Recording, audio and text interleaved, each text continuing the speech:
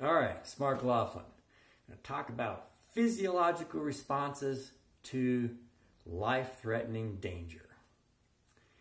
Now, this a lot of this comes from my experience in paintball as well as my studies of Applegate, Fairbairn, and Sykes's experiences and writings. Now, one of the first things you experience under a severe threat, uh, lethal threat to your life, or you're in fear for your life, is crouch. You instinctively crouch. It's a part of establishing a more stable position and maybe reducing target size. It's it comes almost from I guess from our DNA really. It's uh, not something maybe I don't think we've learned it over a lifetime. It's something that is passed on from evolution. And the other thing is you do is there is a intense focus on the threat. Now we knew this in paintball and and and, and of course uh, first responders and, and military people know of it as tunnel vision. This intense focus on the threat, tunnel vision. You don't see anything around you, you see the threat. Your eyes go to the threat.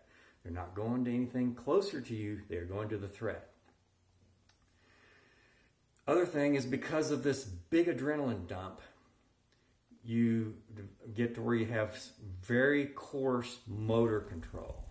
It's very difficult to carry fine motor movements, fine muscle movements, like precise trigger control into a high threat environment.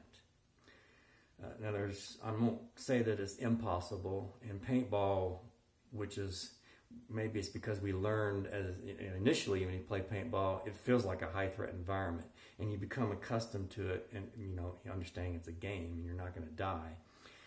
Uh, but you become accustomed to it, and you do learn to maintain your fine motor control in paintball. And maybe there are people that are able to do that for real life, life threatening situations.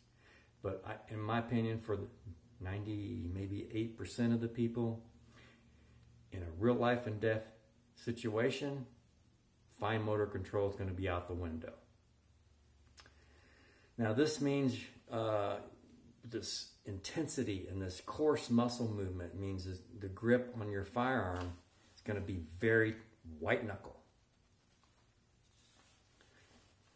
which uh, will be good for maybe holding it steady, but with that white knuckle, you're not going to have that fine trigger control. Also, there's going to be that auditory exclusion. It's really a part of the tunnel vision. Auditory exclusion is almost like your ears are only going to hear what's in front of you. You're not going to. It's it's. You can practice in paintball. We learned it was learning to break through the auditory exclusion so we could hear communication from our teammates.